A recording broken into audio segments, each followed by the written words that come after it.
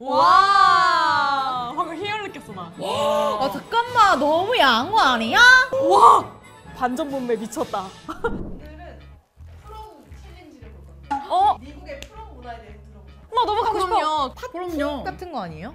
prom 모르세요? 아니 모를 수도 있는 거 아, 아니야? 아니, prom 완전 유명하잖아요. 그 하이틴 영화 같은 데 보면 무조건 나오는 마지막 약간 장면에. after party 프롬 진짜 모르신다. 아. 프롬 버스. 너무 예쁘다. 아니 이거 뭐 거의 시상식 아니에요? 오 완전 이 시상식 아니야 시상식? 근데 진짜 인생에서 한 번쯤은 저런 드레스를 입어보고 싶긴 하다. 우와 와, 아 근데 다들 so 섹시 길어요. 그러네. 이다 기장이 긴데 노출이 아 잠깐만 너무 거 아니야? 어, 이 노출 대박인데요? 항상 외국 보면 좀 위를 까시더라고요. 맞아 맞아 뱃살 없는 사람들만 입을 수 있겠다 깜짝 놀랐어. 어머, 왜 이러세요? 반전 몸매 미쳤다.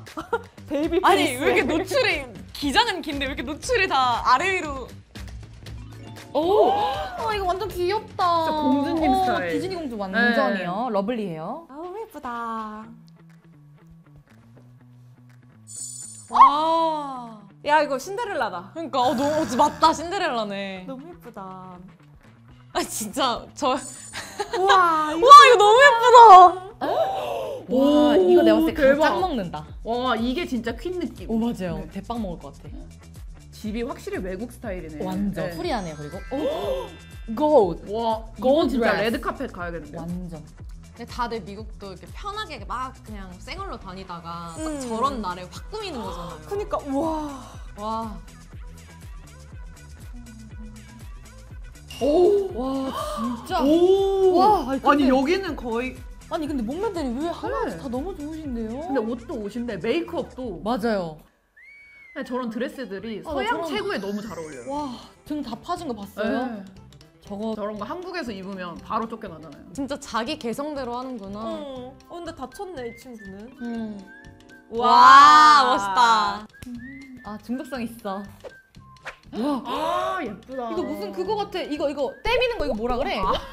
바디 바디 어. 어, 바디 타올이요. 근데 막 하이틴 영화에서 보면은 꼭 이렇게 prom 날에 드레스 입는 날 남자가 그 계단 밑에서 이거 한번 맞이 해주잖아요.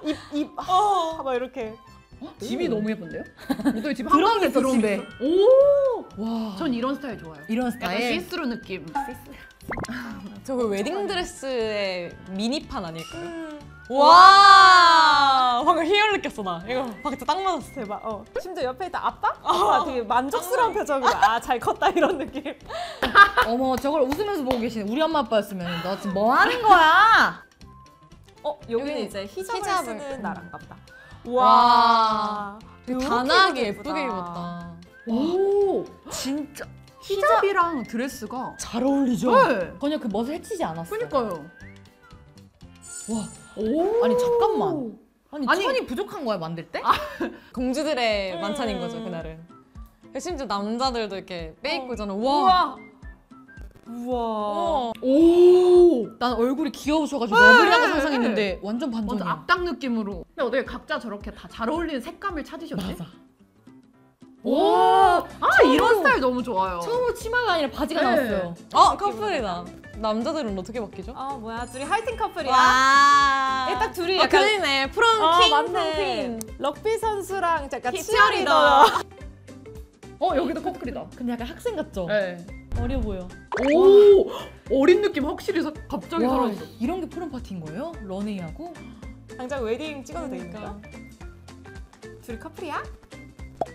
와. 와. 어, 근데 저렇게 남자친구 있으면 맞춰 입고 가는 것도 너무 센스 있을 것 같아. 노랑노랑. 아 저도 prom에 로망이 있었는데. 아!